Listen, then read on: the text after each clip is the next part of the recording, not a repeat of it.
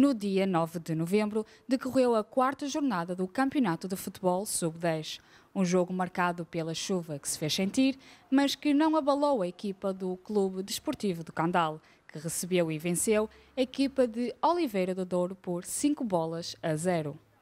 Durante o jogo, fomos falar com alguns pais para perceber qual a importância e valores a serem incutidos e quais os benefícios destes jovens atletas integrarem o mundo do desporto desde tenra idade.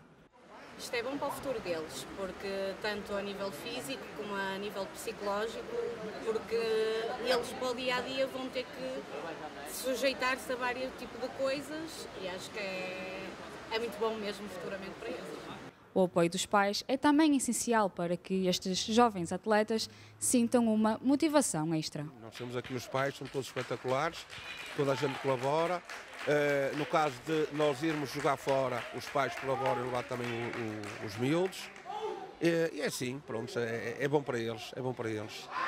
É bom para eles e, é, e nós, eu como avô, sinto-me já no futebol há muitos anos, uh, acompanhei o meu filho, acompanhei o meu sobrinho, Uh, agora estou com o meu neto, uh, mas é com muito orgulho que os vejo crescer uh, e que desde amanhã continuo a dizer que sejam felizes.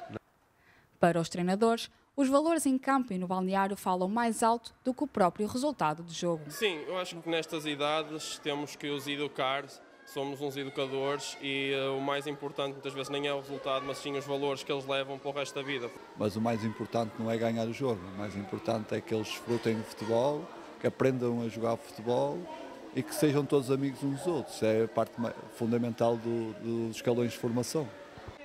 No final, os pequenos atletas fizeram um balanço desde que foi o quarto jogo da época. Foi um jogo muito bem disputado, a equipa toda jogou bem, a nossa como a deles, e uh, não foi só os que marcaram que jogaram bem, foi a equipa toda.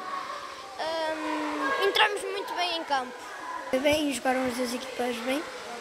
Temos tido embaralhado o passe de marca, uh, jogar em equipa e ali na defesa podemos ter defendido mais.